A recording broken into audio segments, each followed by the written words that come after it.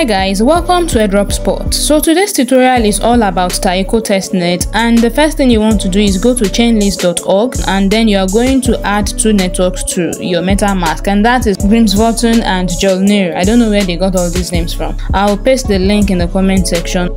Next, you go to sepoliafaucet.com and there you are going to claim 0.5 uh, Sepolia ETH. You may have to log in so that you can get 0.5 Sepolia ETH. Paste your wallet address, check the captcha box at the bottom and then tap on send me ETH to get the test token. We are kind of late to this party because they have done like two previous testnet versions on Taiko but as long as no eligibility for criteria have been dropped by the team behind the project, you cannot say you are late or whatever, you just have to do it. So we are still going to do this testnet while it is still on. So the next thing we are going to do is we are going to the first bridging website and that is their previous version, Grimsvotn. The only thing you can do there is to bridge. Every other interaction is no longer accessible. So here is the website. I'm going to switch my browser to desktop mode so that I can bring MetaMask. Okay, so we have MetaMask option and then I'll tap on MetaMask. I'll confirm the connection in my wallet.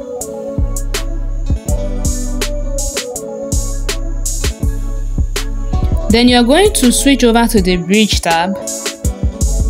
And what we want to do here is we want to bridge from Sepolia ETH that you just claimed from Faucet to Taiko Grimsvorten. So enter the amount of Sepolia ETH you would like to bridge to Grimsvorten. Then tap on bridge.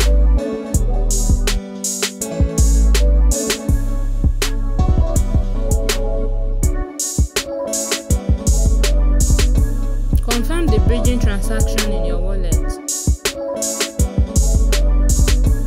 So the transaction has been sent to the blockchain for bridging.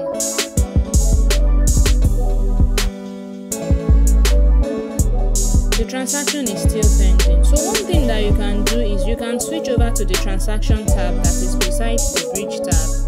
You can go there and then you can decide to manually claim your transaction so that it can be faster if you are in a haste or you can just allow the system to do its thing and take its time. So this is what I'm talking about. Go to transaction. So you can see it here. You can decide to manually claim it, tap on claim, or you can just decide to leave it and when it is time, the system will automatically, you know, deliver your Ethereum Sepolia to Taiko. But here I am claiming, so I tapped on claim. But before I can claim, I need to switch to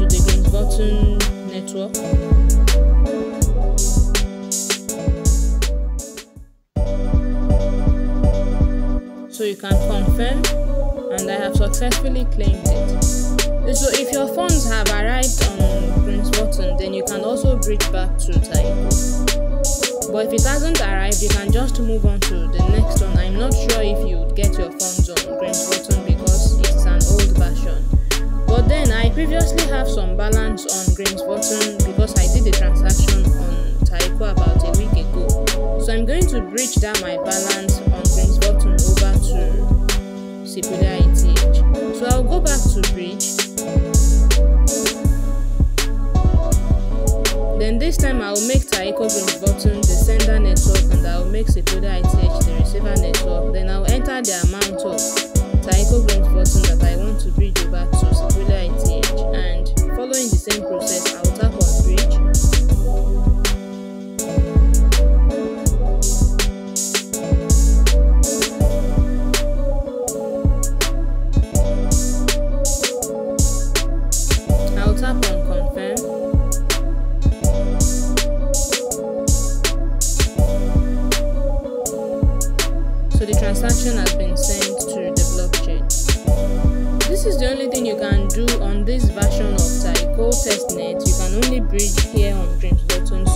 on to the next item. So this time we want to do our interactions on the latest version which is Jolnir. So you're going to paste the bridging link for Jolnir. You're going to paste it in your search bar. Don't worry, every link I used in this video, I will paste them in the comment section as well as the video description for your convenience. So here is the Jolnir interface and the first thing you want to do is you are going to Faucet. We are going to claim one testnet token here. So you'll find Faucet on the sidebar menu by your left. Here is the faucet and we are currently on Sepolia ETH. That is the ne network you should be on while claiming the testnet token. So on Sepolia ETH, you're going to tap on select chain. Oh, I haven't connected my wallet, so I'll do that first. I'll connect my wallet.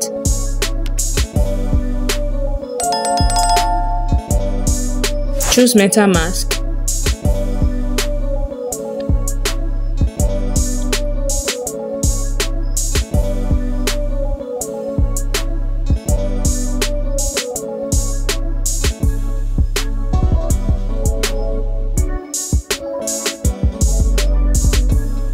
Okay, so my wallet is connected now and you have to be on Sepolia ETH like I was saying and then you're going to claim some horse token, horse test token.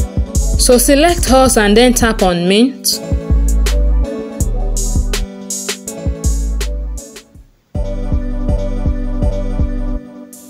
Confirm the minting transaction in your wallet. So meeting successful. Now we'll go over to the bridging tab. Go back to the sidebar menu on the website and then select bridge.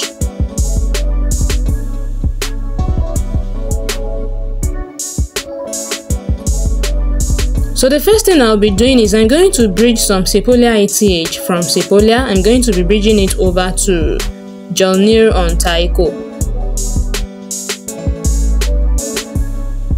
Select Jolnir. Enter the amount of Sepolia ETH that you want to bridge over. So I'll be bridging 0.1 Sepolia ETH to Jolnir Taiko.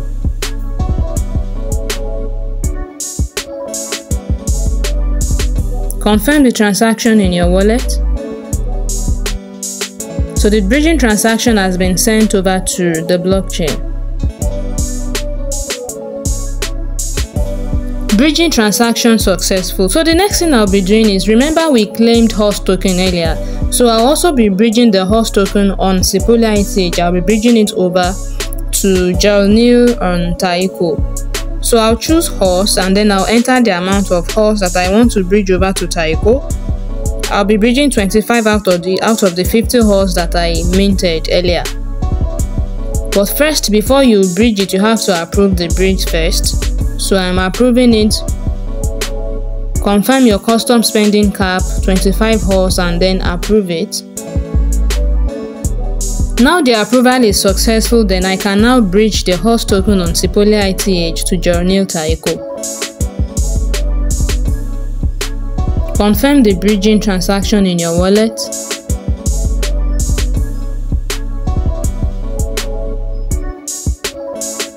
Transaction has been sent over to the blockchain. So if your funds have arrived on, on Jolnir, you can also bridge back to Sepolia ETH. You can check the status of your transactions by going to transaction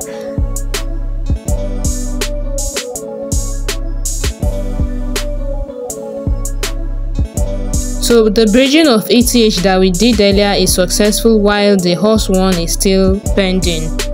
You can decide to claim the one that is still pending manually or you can just leave the system to do its thing if you have the time. Next, we are going to be performing some swap on Jolnir, so you paste the link to the swap website on your search bar. I'll also leave that link in the comment section for your convenience. So connect your wallet and switch over to Jolnir this time. So this time we are going to be performing a swap between Jolnir ETH on Taiko to Horse. So select Horse and select ETH. Then you can decide to swap from ETH to Horse or from Horse to ETH or you can decide to swap between both.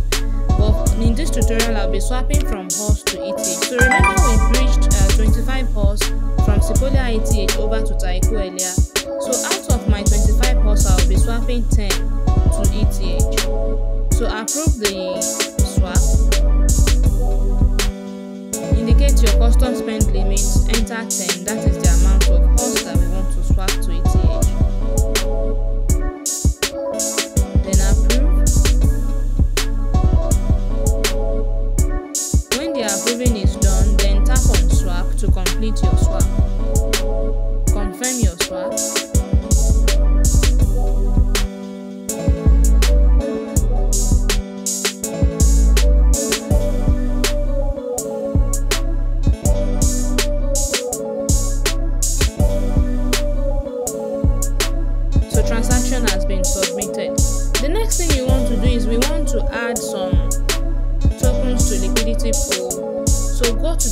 tab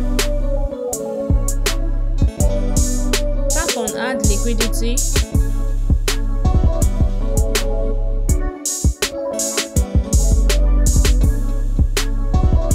So we are going to be adding ETH and HORSE pair to the liquidity pool. So on the other token select HORSE.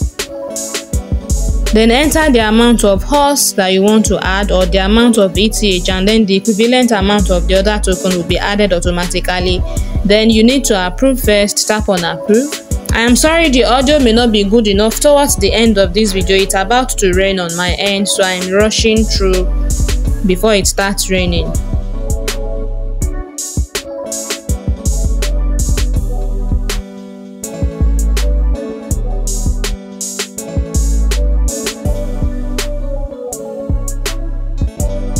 So the approval is done, then tap on supply. Confirm the supply in your wallet.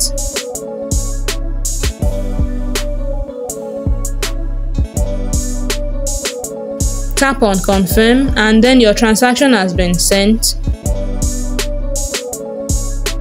So the transaction is successful. You've been able to add liquidity pool. If you go to the bottom of your screen, you will see your liquidity pool position here.